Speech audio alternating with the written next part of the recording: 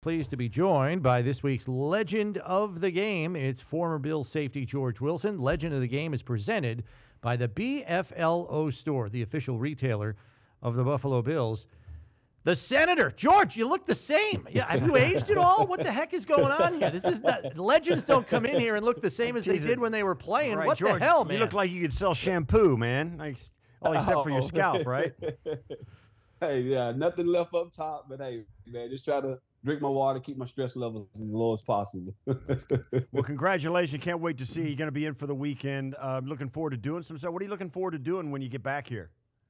man, I'm just looking back to just get in Western New York, give me some some buffalo wings, go and see my my old barber, go see some some friends that I really got to know really well, and just really just come back and see how much the the city has grown, see the new stadium going up across the road, and you know just so much that has changed since the last time I was there in 2019, and really just excited about you know where the team is this season and just be back with amongst uh, the Bills Mafia. You know, that's Yeah. that's what I'm look, looking forward to the most.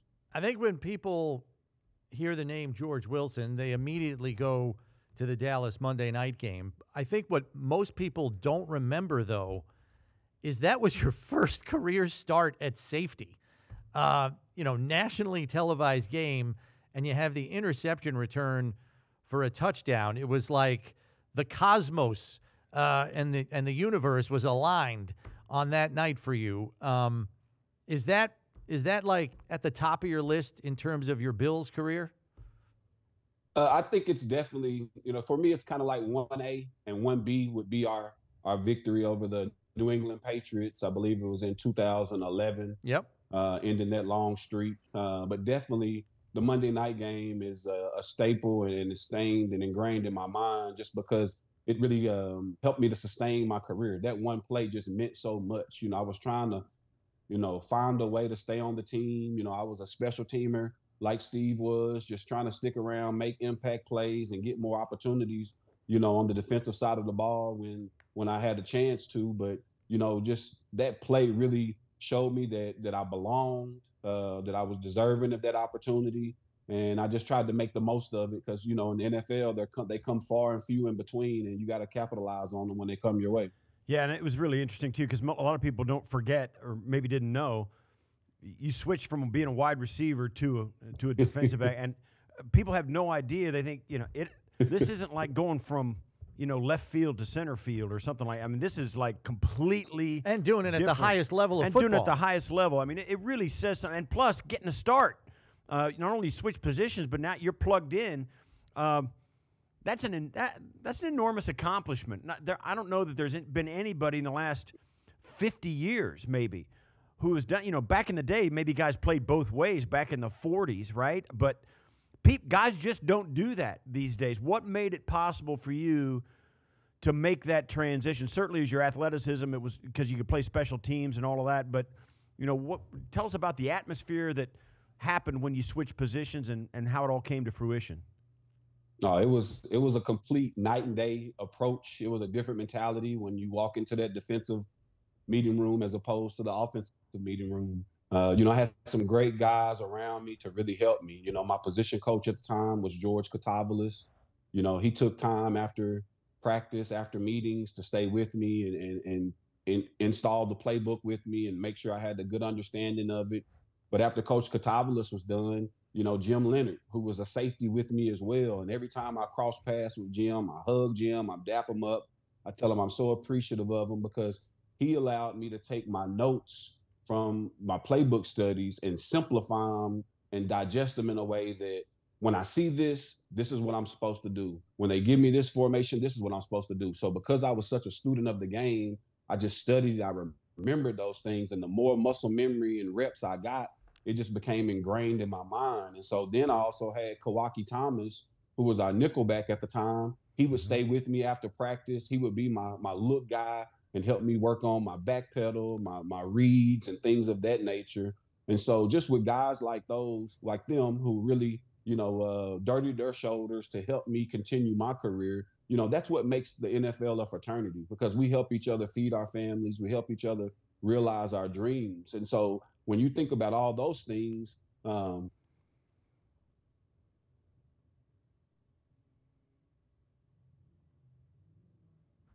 there and build confidence, I said, okay, I have a I need to shorten this learning curve. I really don't have two or three years to make this transition. I really need to make this in one off season.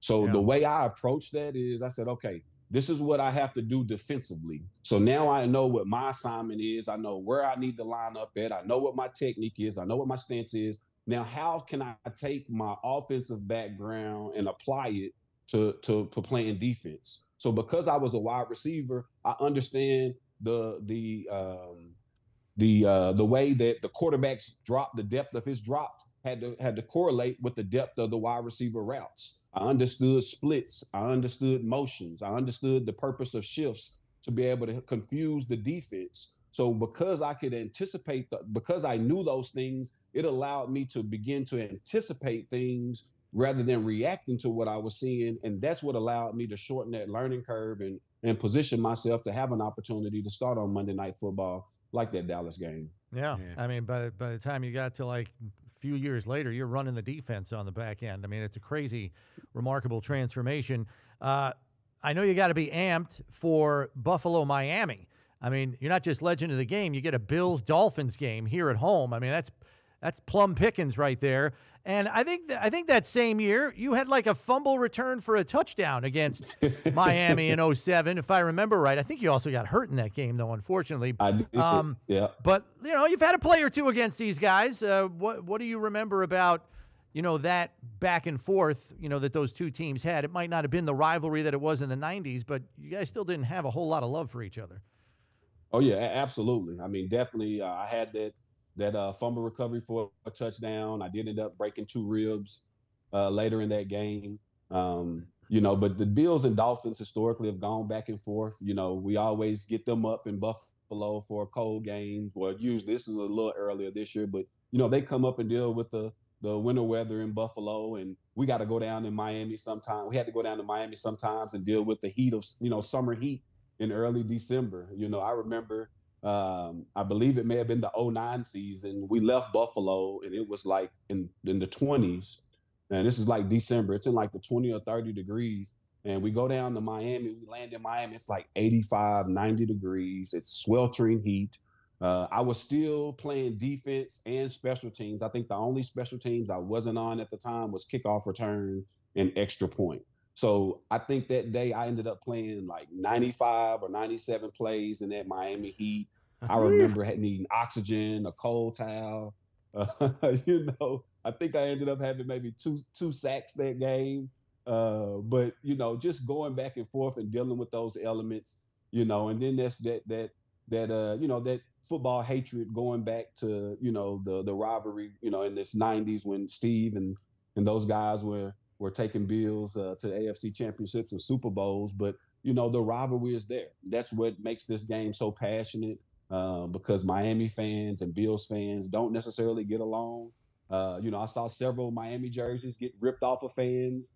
You know, there in Orchard Park, and so uh, there there there is there is some respect there, but there's there's definitely you know uh, uh, underlying hatred there because you know of the extremes of both both cities. You know, you got a blue collar city in Buffalo, and you got kind of like a, a, a facade in, in, in, South Florida where it's not reality. Everything's beautiful. Every day is almost sunny. And so, you know, you couple all those things, you know, there there's just a, a, a hatred there that I think is is uh, is is through and through on both sides. But you know, that's what makes this game exciting.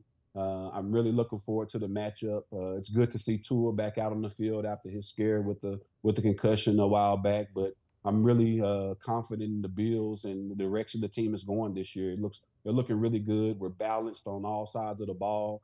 And guys, we have some new faces and guys have come in and made names for themselves by making plays and, and putting us in a position to be six and two right now, controlling our own destiny as we go through the second half of the season. Well, it's so good. It'll be good to see. I'm sure you'll get a load of the fans. And you're right, the stadium across the street is going up. It's growing like a weed. I mean, the thing is really taking shape. It'll it'll be interesting for you. Where do you where you for our listeners and share the where are you living these days and and how what are you doing with your time? Yeah, so I, am I still have my home in in Atlanta, Georgia, uh, and then I uh, some years back I bought my grandfather's my grandparents' farm back in Kentucky. So I've been developing that.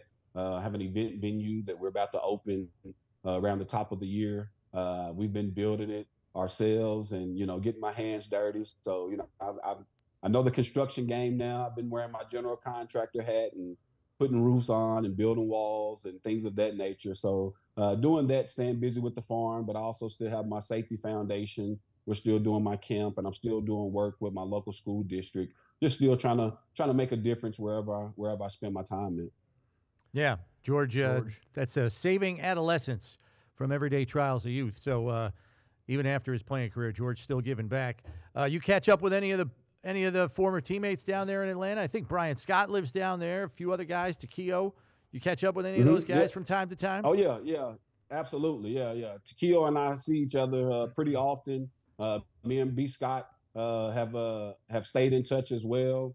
Uh, but yeah, several guys I still cross paths with. I'm still keeping. I just saw uh, Nate Clements and London Fletcher, um, uh, Angelo Crowell, Mario Haggan, and and some other guys. Maybe about a month ago, we were all together, and so uh, it's good to see former teammates. Um, you know, it's always good to get back, share stories, share laughs, and just feel like one of the guys again. You know, I think that's what most former players miss the most, just being around the guys and just being one of the guys in the locker room. So it's good to get a taste of that and a feel of that, you know, every now and again. Well, I'll second that. George, thanks for spending some time with us. Great seeing you and looking forward to seeing you out there on the field on Sunday. All right, can't wait to see you guys as well. Go Bills. All right.